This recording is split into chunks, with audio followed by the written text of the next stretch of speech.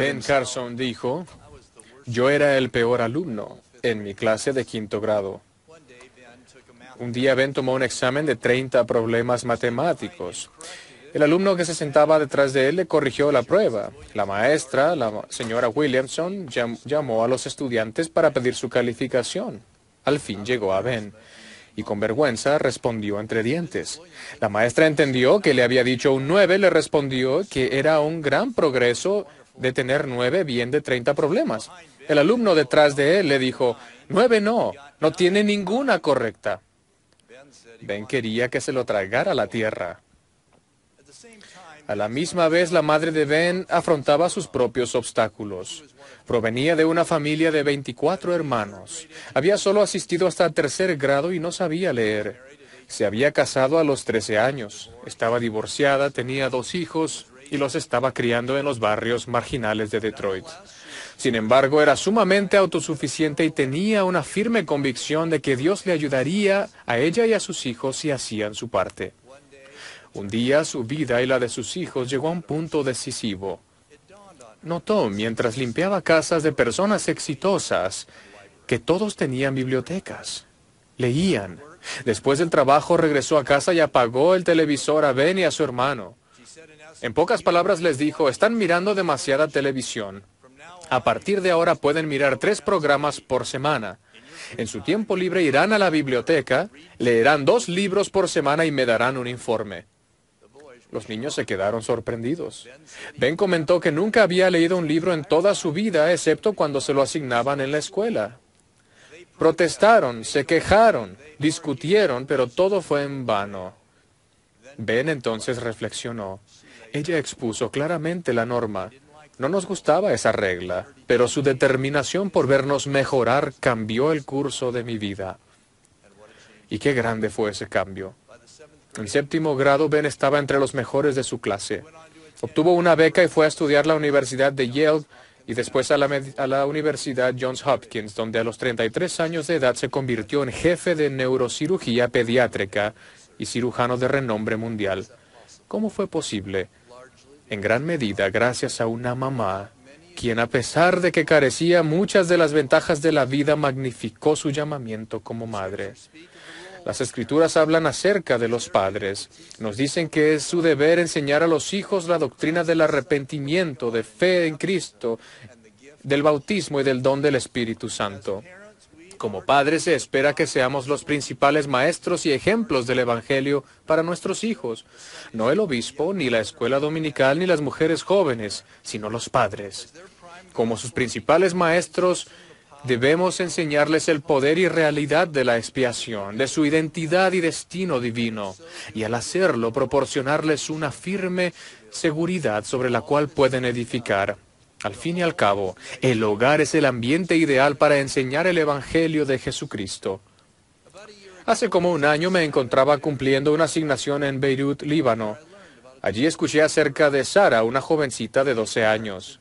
Sus padres y dos hermanos mayores se habían convertido a la iglesia en Rumania, pero luego tuvieron que regresar a su patria cuando Sara tenía solamente siete años. La iglesia no se encontraba establecida en su país. No había unidades organizadas, ni escuela dominical, ni programas de jóvenes. Después de cinco años, esta familia se enteró que había una rama en Beirut, y justo antes de que yo llegara enviaron a su hija de 12 años, acompañada de sus hermanos mayores, a que se bautizara. Mientras estaba allí, impartí un devocional sobre el plan de salvación.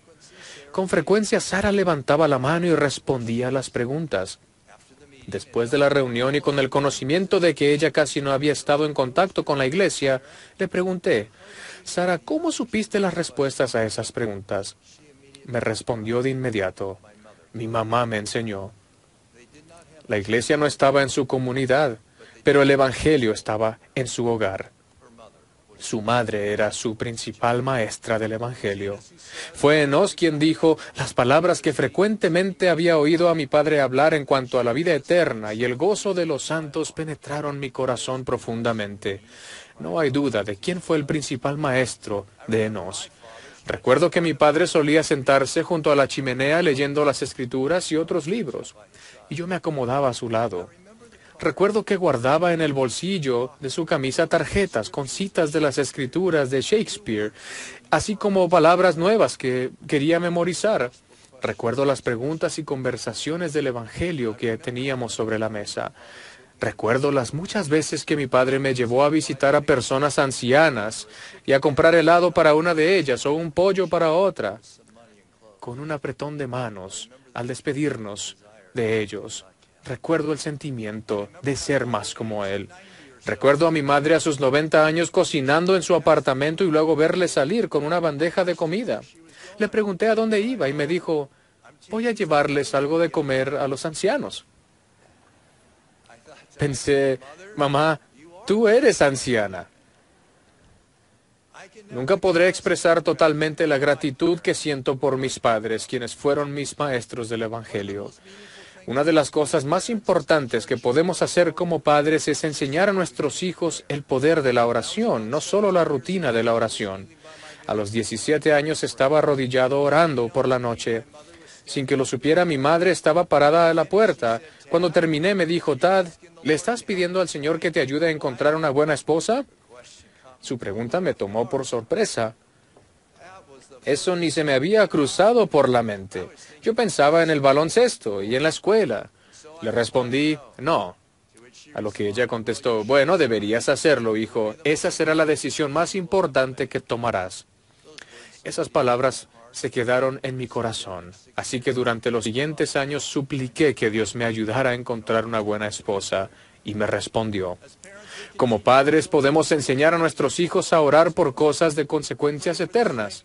Orar para pedir fortaleza, para ser moralmente limpios, obedientes y tener el valor de defender lo correcto. Sin duda la mayoría de nuestros jóvenes oran por la noche, pero quizá a muchos de ellos les cuesta adquirir el hábito de hacer oraciones por la mañana.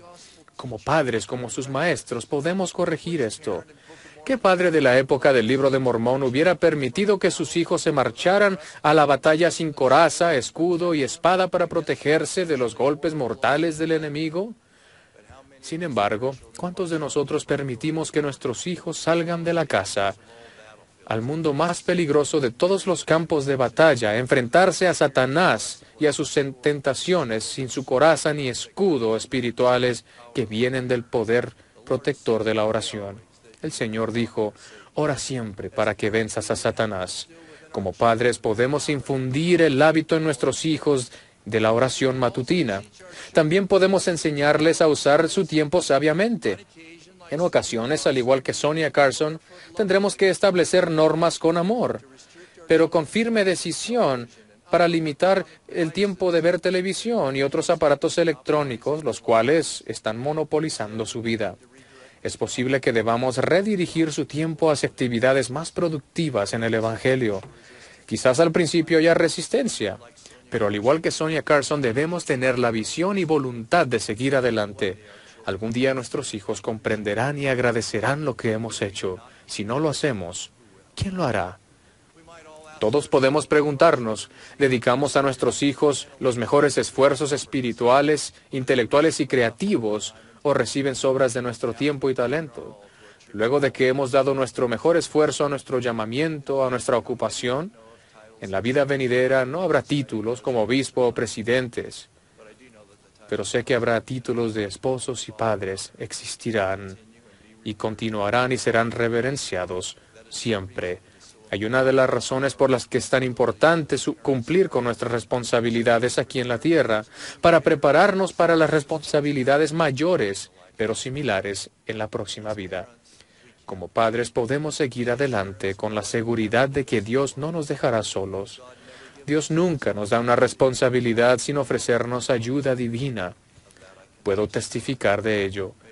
Ruego que en nuestra divina función de padres y en asociación con Dios seamos los maestros principales y ejemplos del Evangelio para nuestros hijos.